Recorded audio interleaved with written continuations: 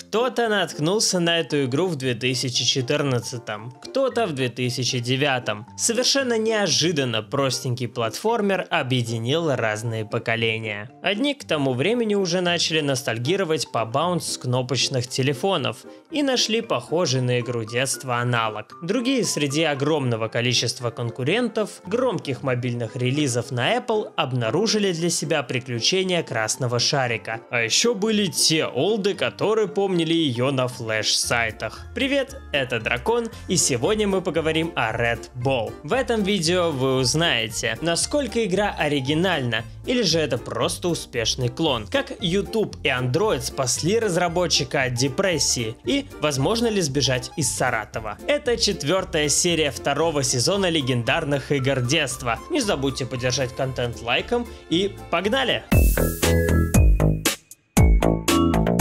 Когда миром правила Nokia, а по земле ходили динозавры, у нас был совсем небольшой выбор игр. Сразу вспоминаются Gravity Defight, Змейка и Bounce. А если телефона не было, то молодые геймеры обращались к домашнему ПК с флеш-играми. Bounce была на всех популярных кнопочных телефонах Nokia, и пройти мимо нее было практически невозможно. Хотя я прошел, у меня был Sony Ericsson. Ну и что, зато я поиграл в Tower Blocks, а Bounce видел на телефонах одного одноклассников. В классической игре было 11 уровней. Игроку нужно было пройти через все обручи и открыть дверь на следующую локацию. Жизни были ограничены, а мешали вам колючие шипы. На YouTube можно найти полное прохождение игры, где автор канала справляется с ним за 40 минут. Игроки полюбили ее за понятную механику, яркость и испытания, но еще больше всем полюбилась Bounce Tales, которую Nokia разрабатывали вместе с Rovio. Да, финнов еще тогда тянуло на красных круглых персонажей персонажей. Bounce Tales была еще ярче. Также в ней появился сюжет и яйца, которые нужно было собирать. После нее выходили Bounce Touch с управлением стилусом, Bounce Boeing Voyage, которую меня попросили упомянуть, сказав, что классика. И последней игрой в легендарной серии стала Bounce Boeing Battle, которая вышла в 2010 -м. На этом серия закончилась. Но тут как раз и нашелся наш сегодняшний герой. Евгений Федосеев, который еще в 2009 начал создавать собственную серию флеш-игр.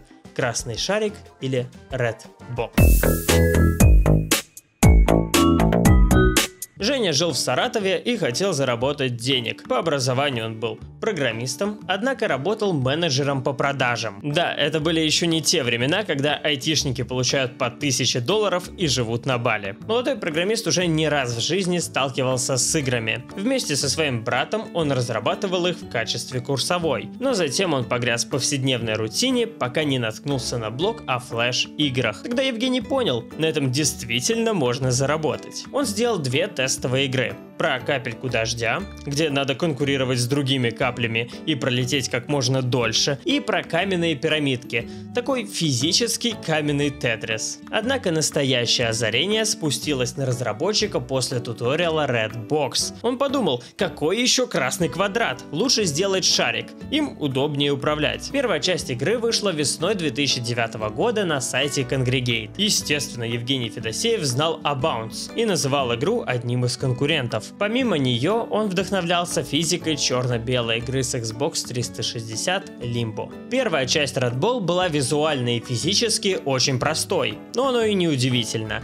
Евгений Федосеев сам рисовал все окружение, а саундтрек для игры нашла его жена. Максимально кустарное производство. Однако оно привлекло компанию King.com, создателей Candy Crush Saga. Они помогали Евгению продвигать игру. Результат замотивировал программиста, и он сделал вторую часть уже через пол полгода. Он тоже рисовал ее сам. А третья часть стала для Жени особенной. С ним связался американец Майк и предложил портировать игру на iPhone. В это же время разработчик начал работать с создателем Чилинго. Если помните первый сезон истории игр, то точно знаете, что с Чилинго работали и создатели Cut the Rope, а также мобильная легенда Angry Birds. Издатель помогал им дорабатывать уровни на финальных стадиях, так что и Red Bull не стал тут исключением. Более того, Евгений Федосеев наконец-то нашел художника графики. А еще добавил сюжет в свою игру, хотя тот оказался весьма вторичен. У красного шарика украли его любимую девушку, и он отправляется ее спасать. Привет, Марио и тысячи других игр. В Red Bull очень много идей взято из других проектов, в чем открыто признается разработчик. Из игры Fire Boy and Water Girl он взял механику рычагов. Из Lily's Quest 2 забрал врагов, которые бодаются. Дальше скорее отсылка. В Red Bull 3 есть один уровень, который повторяет Doodle Jump. Три части это, конечно, хорошо, но все-таки главной игрой в карьере Жени стал Red Bull 4. Думаю, именно с ним многие из вас знакомы. Посмотрим, как создавалась игра и как она чуть не провалилась.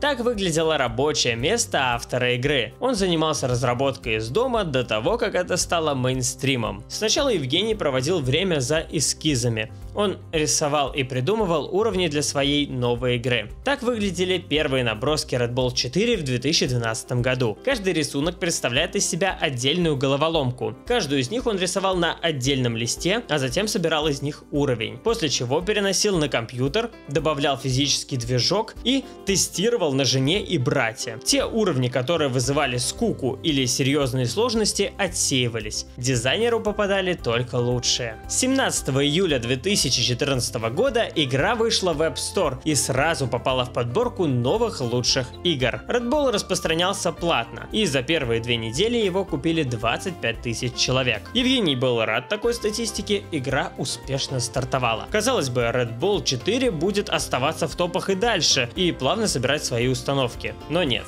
Акция невиданной щедрости от Apple закончилась через две недели, и количество продаж упало в тысячи раз, а Red Bull 4 летел на самое дно магазина приложений. Это был тяжелый период в жизни Евгения. Он потратил много сил на создание новой игры, она так быстро затухла. Он похудел, у него родился ребенок, нужны были деньги. Евгений почти разочаровался в заработке на играх и начал искать работу по объявлениям. Но здесь ребята из FidiG предложили разработчику выпустить игру игру на Android, но уже бесплатно для игроков. В Red Bull было добавлено время ожидания восстановления жизней. Сам Женя был против такого, но издатель утверждал, Отвечаю, сработает. И сработало. На андроиде игра полетела в топы. Все устанавливали бесплатную игру и с удовольствием смотрели рекламу. Некоторая часть игроков даже покупала бесконечные жизни. Популярность игры на Android вернула ей жизнь и на iOS. Еще на возрождение игры повлияли обзоры и забавные нарезки с YouTube. Сам разработчик на подкасте Flasm говорил, что его сильно удивило такое влияние роликов по Red Bull на популярность игры. Red Bull 3 и 4 до сих пор увлекательные головоломки головоломки с интересными уровнями. Четвертую часть мне даже захотелось пройти полностью. Да, действительно бесит ограничения жизнями, ведь насколько бы ты ни был аккуратен, все равно одно неверное или поспешное движение и красный шарик превратится в красный кусок